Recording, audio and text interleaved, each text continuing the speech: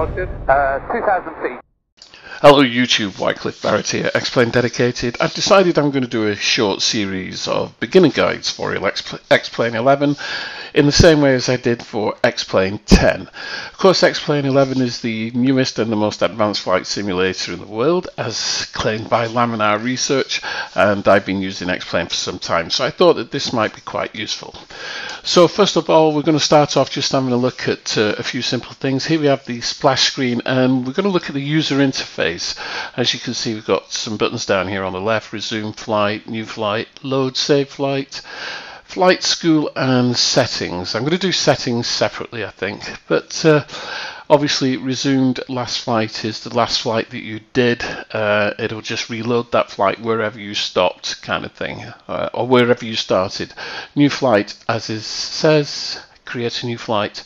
Load a save flight means that you can save flights and load them up later. And flight school is a number of flying lessons. And in fact, I'd be honest and say I've never looked at that. So let's have a look at the aircraft user interface because this has caused some confusion for a lot of people, especially when they see odd things like question marks and small icons. Uh, you can go through the user interface in a number of ways. So you can look at types of aircraft, yeah, uh, you can look at uh, the number of engines. So if you if you want to choose an aircraft that's got two engines, then you can click on that. Then you've got uh, actual manufacturers of aircraft, which you see there, and there's a whole range of them. Then you've got development houses. So you've got Laminar Research, Flight Factor, Step to Sky, Flight Factor, JAR Design, Airfoil Labs, SSG, etc. Whatever you've got in. So those are the development houses. So you can search for aircraft in any of those fashions. Or you can just pull the scroll bar down and look at the visual representations of them. Now, as I said, you'll see some where there are question marks, and all that means is that those aircraft have not been uh, customized. You'll also see small icons, and that's a problem to do with uh, the developer. Uh, that will get ironed out as time goes along. So, regarding the question marks, um, basically what that means is that the liveries have not been generated and you would do that in a particular fashion. And what you need to do is start up that aircraft first of all and then go back to this panel and it'll have a badge on it that'll say generate icons. We've also got a favorite section here which we're looking at right now whereby you can place aircraft into your favorite section so you don't have to go hunting for them. Uh, I'm going to put uh, one in and base what you have to do is click on the little star in the top right hand of the icon so let's put the MD80 in there click and you see that the MD80 has gone up into the favorites section there and it'll also what happens here it always puts them in alphabetically so let's put the airfoil labs in click and there you see the airfoil labs Cessna 172 up in my favorites section. It's a very useful thing, the favorites bar, because it means you can get your aircraft in there quickly. Looking over onto the right here, we've got all our airports. I can't remember how many. I think it's 26,000, maybe even more than that, um, in the um, location. And you can you can look for airports in a number of different ways. Okay, so you've got uh, ID. You can have uh, ID, ICAO, IATA, FAA, uh, city or state. The state I found a bit hit and miss. It's okay if you're in the United States of America, but you know if you're in the UK, we don't have states. But if I type in Cardiff, it'll bring up everything relating to Cardiff. So there's uh, the heliport, the airport, and another airport called Cardiff Brothers, which is I think in Canada somewhere. I'm not quite sure.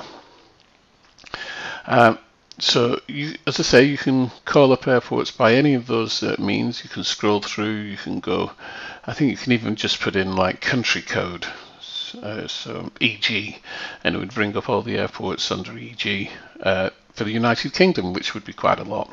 It's a very useful tool. Um, you, it's no different from anything else that we've seen. It just looks prettier, okay, if, if there is such a word.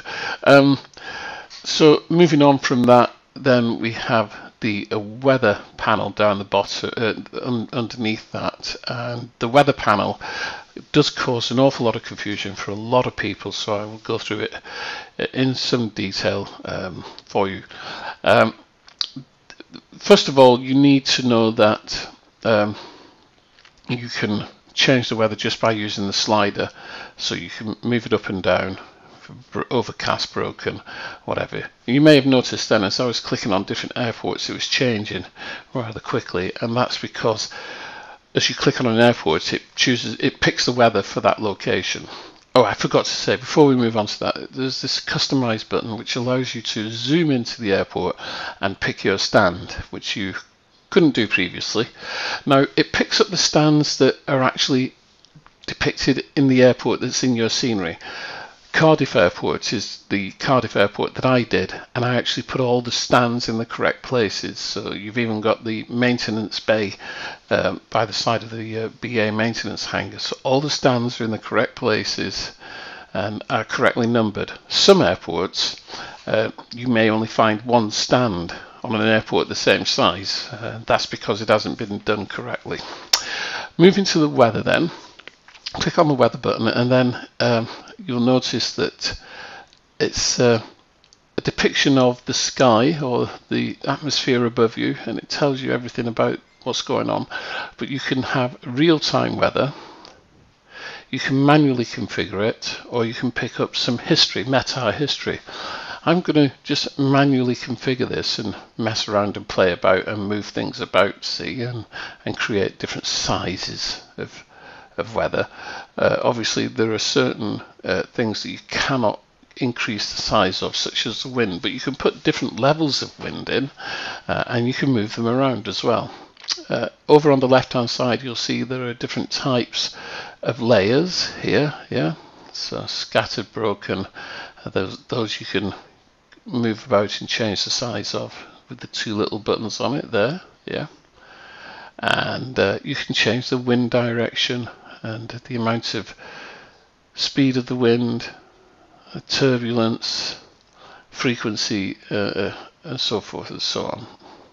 So that is really a, a lot more um, what's the word user friendly than in X-Plane 10 but also not only is it user friendly it allows you to actually uh, create far better weather for yourself as well so a good advancement, but because I always fly online, I always have my weather on um, download real world weather.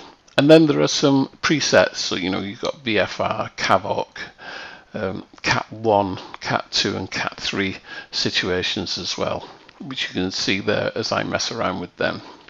And you can alter those as well a little bit on, on the left hand side. The, the, I suppose the the main thing is that uh, with this is just to mess around with it, you know, play with it, move the settings around to see what weather you can create for yourself. Um, be very careful with your visibility uh, because uh, if you bring the visibility down too low, then you will be flying in fog and you won't see very much at all. But uh, as I say, everything is is on this weather settings panel. If you want to create your own weather as I say I always fly online so I just use real real real weather. Uh, I have got a couple of add-ons that help my weather to, to produce the weather that I want or how I want to see it and we'll talk about those uh, in another video I think. Um, this video is just very quickly showing you a part of the user interface. The next video will go on to look at um, settings. Uh, I, I, felt that that needed a video in its own right. I'm still playing around with the weather settings here. So there you have it. Um, I think the user interface now is a lot easier. Also finally uh, you can set the date and time uh, there's a little checkbox in the bottom left hand side there that says uh, follow real time. So at the moment this was on real time. Uh, but you can change it to whatever you want. Uh, and it, you know just by clicking the button and then you know coming out of there just in the time there or even on, on the final screen down at the bottom just pull the slider over. So uh, hope you've enjoyed this short video. Um, my computer is uh, run by Wildfire uh, produces these kind of images or you know this kind of environment, as you can see in X-Plane 11. So as always, my name is Wycliffe Barrett. Hope you found it useful. We'll see you soon. Cheerio. Yeah.